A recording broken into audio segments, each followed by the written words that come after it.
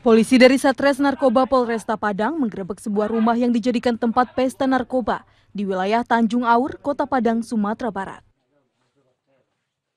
Dari penggerbekan, polisi menangkap seorang pemuda yang tengah mengonsumsi narkoba jenis sabu-sabu bersama kekasihnya. Keduanya pun tak berkutik saat polisi menggerebek dan menggeledah kamar. Dari penggeledahan, petugas menemukan dan menyita satu paket narkoba jenis sabu-sabu, satu paket ganja, alat hisap, serta sejumlah uang tunai yang diduga hasil penjualan narkoba. Penggerebekan dilakukan berdasarkan laporan warga yang resah dengan ulah pelaku. Sementara pelaku merupakan target operasi polisi karena diduga telah mengedarkan narkoba di kota Padang. Uang tersebut bisa jadi dari hasil penjualan.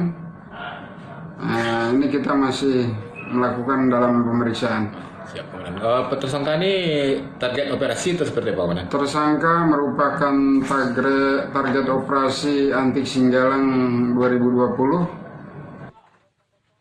Atas perbuatannya pelaku dijerat Undang-Undang Nomor 35 Tahun 2009 tentang penyalahgunaan narkoba dan terancam hukuman 5 tahun penjara.